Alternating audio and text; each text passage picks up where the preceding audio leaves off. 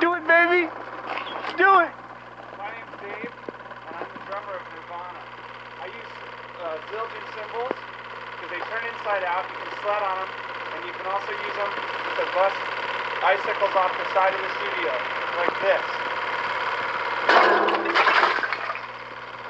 What are you crazy?